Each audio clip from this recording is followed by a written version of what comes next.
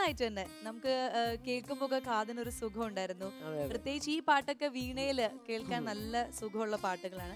സുഗംഭീര ഒരു പെർഫോമൻസ് ആയിരുന്നു. Thank you so much ചേച്ചി പറയൂ എന്താണ് ചേച്ചിക്ക് തോന്നിയത്?